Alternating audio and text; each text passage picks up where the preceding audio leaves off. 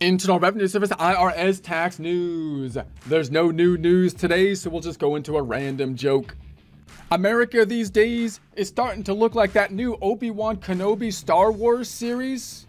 Things are not looking good, positive, or in any way coherent. That last one being the most disturbing. But every once in a while they throw us some member berries. Hey, check this scene out that resembles the original. Remember how it used to be? You know, when it was good? And member berries that call back to the original good old times are great.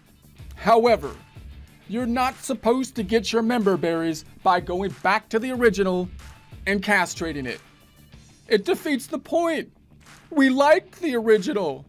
It's like trying to impress somebody by presenting them with their old friend's severed head and saying, What? I thought you liked good old Joe.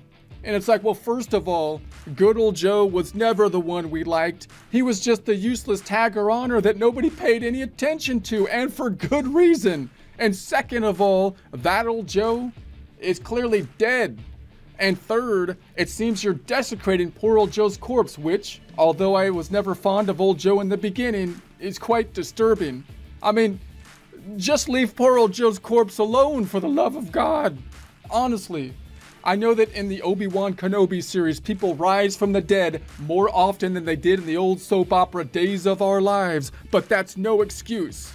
Bringing that poor man back to life is less likely than lightning striking twice in the same place, or less likely than a lightsaber striking the same exact person twice, in the same exact place twice. The lightsaber wielded by the same exact dark dude twice.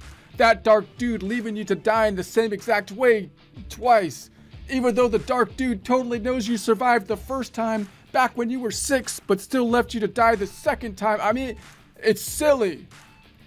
No, man, you just don't understand.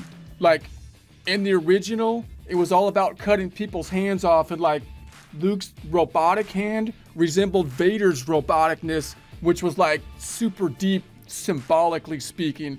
But now it's all about skewering someone through their belly but then like letting them live, presumably getting robotic bowels and getting your bowels and most likely your spine skewered, it's way deeper, symbolically speaking, than just cutting off like a hand. It's like they took it way up to another level, man. Uh, no. It's not symbolically deeper, it's literally deeper. There's a difference. It's literally deeper and symbolically stupid.